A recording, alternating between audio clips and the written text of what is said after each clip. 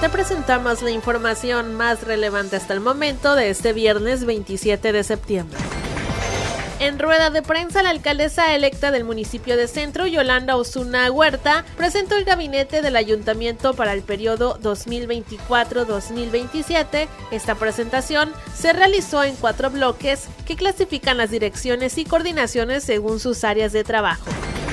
Javier May Rodríguez, gobernador electo de Tabasco, dio a conocer a través de sus redes sociales que se ratificó a Víctor Hugo Chávez Martínez frente a la Secretaría de Seguridad y Protección Ciudadana.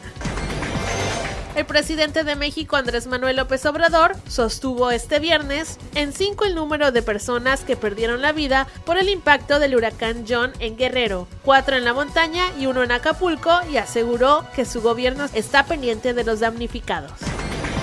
Al menos 26 fallecidos, calles inundadas por una marejada ciclónica sin precedentes, daños en estructuras y más de 4 millones de personas sin energía tras la llegada de Helen a Estados Unidos como huracán de categoría 4.